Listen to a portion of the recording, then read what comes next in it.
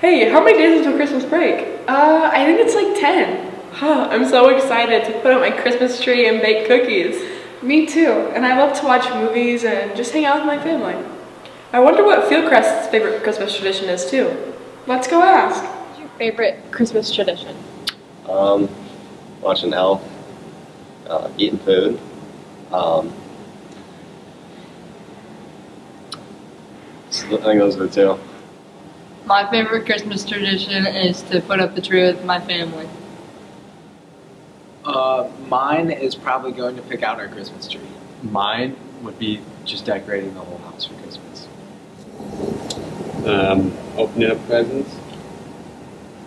I think my favorite Christmas tradition is going to Texas and seeing my family and we make gingerbread houses and we have a contest who can make the best gingerbread house and then the winner gets a hundred bucks.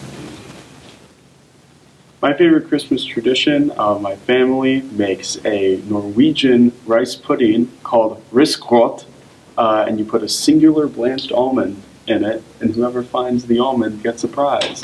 But the trick is, if you have like little kids, you just give them each an almond, and, and they're like, "I won," and then it starts a fight. It's really funny. Um, every Christmas morning, my dad makes a big breakfast, and everyone comes over.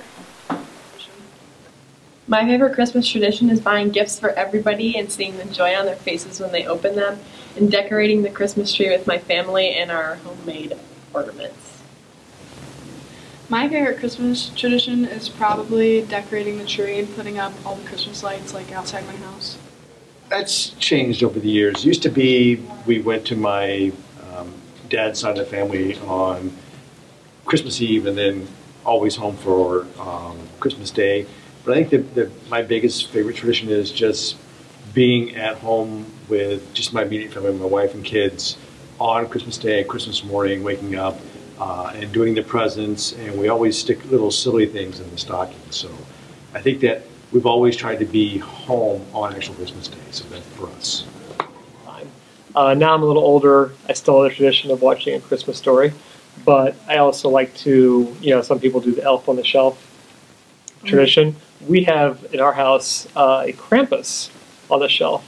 So instead of having the little elf go around, we have a little Krampus doll that moves around the house and keeps an eye on our youngest one, who's a fourth grader.